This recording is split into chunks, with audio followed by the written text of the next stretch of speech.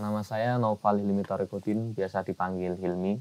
Nama saya Faris Fadilah, asal Bekasi Utara dan saya berumur 19 tahun. Masya Allah, 19 tahun sudah menjadi da'i, Masya Allah.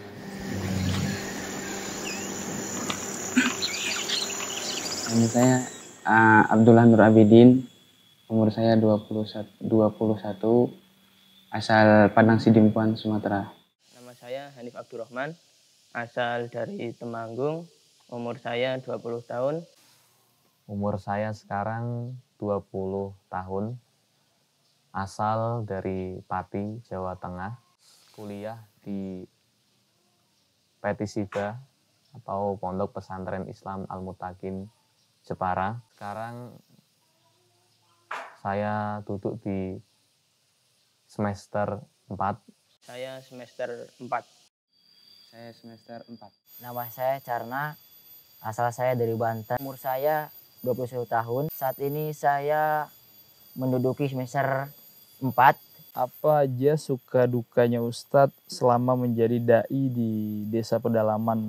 Sukanya meskipun pedalaman Kulon Progo ini masjidnya tetap ramai, jamaahnya tetap semangat untuk pergi ke masjid dan dukanya tidak ada kendaraan umum, jauh ke warung-warung.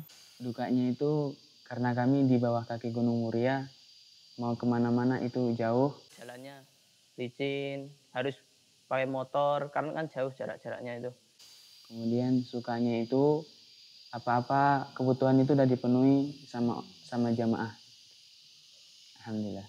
Walaupun sini Islamnya masih minoritas, tapi untuk jamaahnya sangat semangat sekali dalam beribadah kepada Allah. Untuk dukanya memang daerah sini terpencil, jadi mau ke mana-mana atau mau ke warung itu sangatlah jauh. Saya dari awal bulan Ramadan sampai saat ini. Iya, rencananya? Rencananya habis lebaran insya Allah balik. Habis lebaran Ustadz ya berarti. Berarti kemungkinan lebaran di sini ya Ustadz Iya. ya? Perasaan Ustadz gimana sih lebaran di sini nggak bersama keluarga, sekalipun keluarga dukung Ustadznya? Aslinya sih ya emang, yang asli sedih sih emang. Tapi nggak mengapa buat orang banyak juga buat agama Islam sih nggak apa-apa. Masya. Allah, Masya Allah. Jadi di desa minoritas ini kita kan mengisi di masjid itu, di masjid tersebut.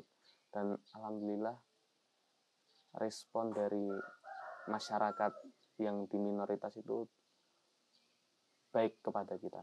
Jadi maksudnya di situ masyarakatnya memang membutuhkan bimbingan kita. Karena ketika kita tidak hadir di sana, jadi ada salah satu masjid itu memang sangat mem- membutuhkan. Jadi ketika kita tidak ada, dia apa mereka dari masyarakat yang minoritas itu bingung. Jadi nanti kita terawihnya gimana ini? Jadi karena emang mungkin kurang paham terhadap ilmu agama, jadi dia sholat terawih aja dia membutuhkan dai. Jadi ya yang termasuk yang sekarang kita apa kita jalani yaitu program tebar dai Ramadan ini itu dari masyarakat minoritas sangat membutuhkan dan sangat menginginkan itu setiap tahunnya. Iya, baik.